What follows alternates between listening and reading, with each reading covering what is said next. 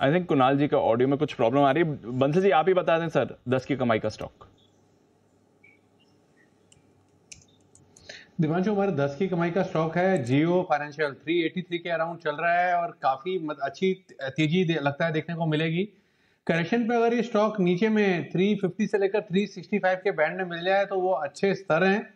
इन स्तरों पर करेक्शन पर जियो फाइनेंस में एक्यूमुलेशन की राय है। दो से तीन महीने का नज़रिया बनाना है और यहाँ पर शॉर्ट टर्म में नियर टर्म में हमारे टारगेट्स हैं फाइव हंड्रेड रुपीज़ के तो 500 के लक्ष्य के लिए जियो फाइनेंस में निवेश की राय है। जियो फाइनेंस में निवेश की राय और कुणाल जी भी ये अपनी उपस्थिति दर्ज करवाने की कोशिश करते हैं। कुणाल जी, अगर बंसल जी ने आपके ब्याह पे बोल दिया तो आपको एक्सेप्टेड नहीं है? मतलब क्या समस्या क्या है? नहीं अनिल जी बिल्कुल भी समस्या नहीं है। अनिल जी बंसल जी ने सारी चीज़ें बोल दी हैं लक्ष्य भी उन्होंने दे दिया है। हाँ। अनिल जी मैं केवल अनिल जी इनके साथ ये अपनी सहमति दर्ज कराने के लिए अनिल जी हाथ खड़ा कर रहा था कि मैं लौट आया हूँ।